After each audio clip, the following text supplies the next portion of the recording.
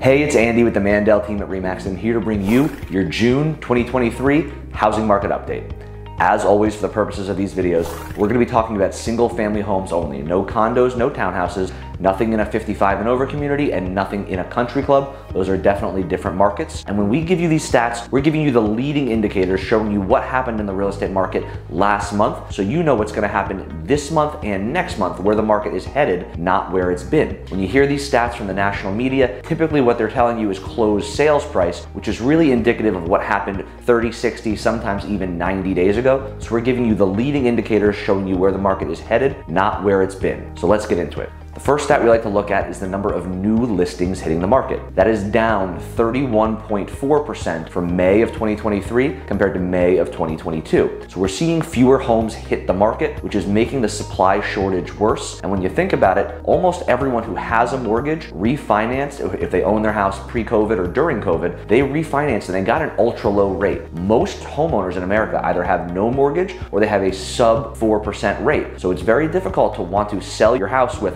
a 2.75, 3.5 rate, and then want to move up and buy something bigger with today's prices and today's interest rates. So people are staying put, they're not putting their homes on the market, and that's partially what's making these prices go up. It's an imbalance in supply and demand. The next stat we like to look at is the number of pending sales, so homes that are going under contract. Believe it or not, even though a lot of people are saying, oh, the market's slow, there's no buyers, pending sales are up 11% in May of 2023 compared to May of 22. So way fewer homes on the market, but more homes going under contract because people still want to move. People are moving to Florida in droves. There are still homes that are selling and there's way more demand than there is supply. Obviously, that's going to lead to a continued increase in prices. The next stat we like to look at is the number of days on market. So in May of 2023, that was 23 days. So that's up from 13 in 2022. So fewer homes coming on the market, more homes selling, but it is taking a little longer than it was last year. The good homes though, they are still selling in record time, one day, two day, three days. If they're priced well in good neighborhoods, you know, they don't back up to a major street and they're relatively updated, those homes are still selling very quickly.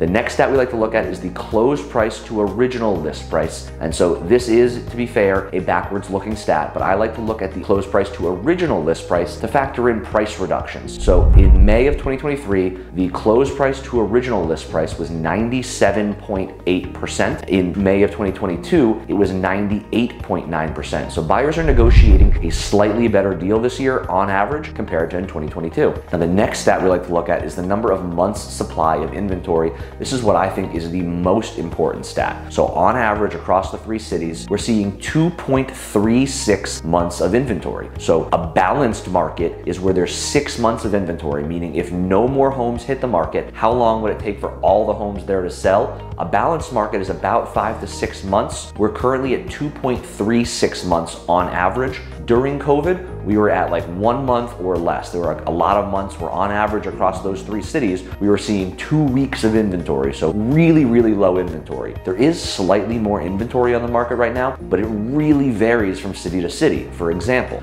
Boca has 3.13 months of inventory at the current pace of sales. Parkland, 0.22 months of inventory.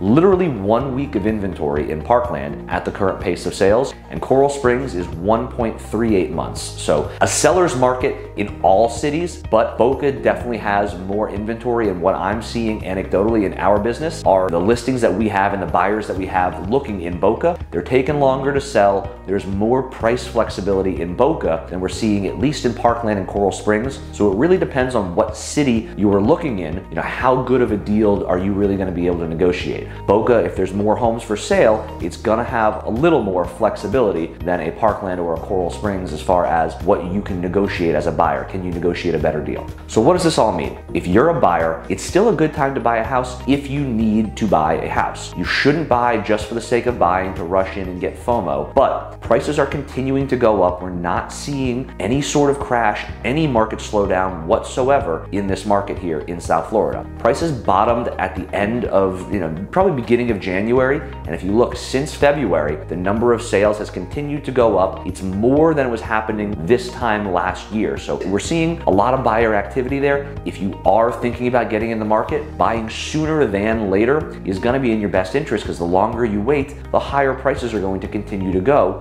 You know, I'm not predicting a 25% price appreciation this year like we were seeing in those crazy years of COVID, but I think three, four, five percent, which is historically very normal, is very likely in this market here in South Florida. We have a thousand people a day moving to the state of Florida, with the majority of them coming to southeast Florida and the greater Miami region. We have the Everglades to the west, so you can't build on the Everglades. We have the ocean to the east. You obviously can't build on the ocean. So we just are land constrained. Supply and demand says that we're going to have an increase in prices as more people come here, and there's just not enough homes for all the people who live here. As a seller, what does this mean for you? It's a great time to be a seller if you're thinking about selling and moving up, buying a bigger house. Ideally, if you own a house that you know you had rented out for years, the price has gone up 150%, you know, these crazy price appreciations. If you don't need that house anymore, it's a great time to capitalize, take some money out of the game, sell it to a family who would really like to be there, and you know you're gonna get multiple offers if you price the house correctly and do all the crazy marketing things that our team does to market our properties. You're gonna get a really good price. So the best sellers right now are the ones who, you know, they've already bought a house maybe in a slightly cheaper location or they've relocated out of the area and they just don't need the house. They don't want the headache of being a landlord. Now is a great time to capitalize on the continued demand of buyers here in South Florida. If you have any questions about the market, whether you're buying, selling, renting, or investing, feel free to reach out to us, give us a call, shoot us a text, or send us an email. Always remember, we got your back when moving in South Florida.